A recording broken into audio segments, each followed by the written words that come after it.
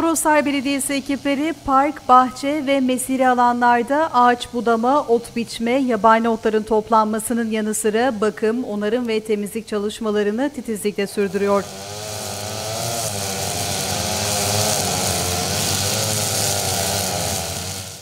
Toroslar Belediye Başkanı Aslı Zavşin Yılmaz, doğanın önemine dikkat çekerek gelecek nesillere bırakacağımız en değerli miras yeşil alanlarımızdır dedi.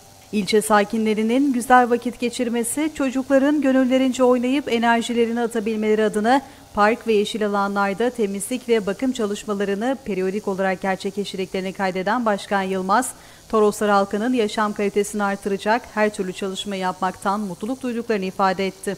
Başkan Yılmaz, İlçemizin sosyal dokusuna değer katacak yeşillendirme çalışmalarımızı sürdürüyoruz. Hemşehrilerimizin huzur içinde dinlenebileceği, vakit geçirebileceği yeşiller içinde bir Toroslar inşa ediyoruz. Pandemi süreci hala etkisini yitirmiş değil.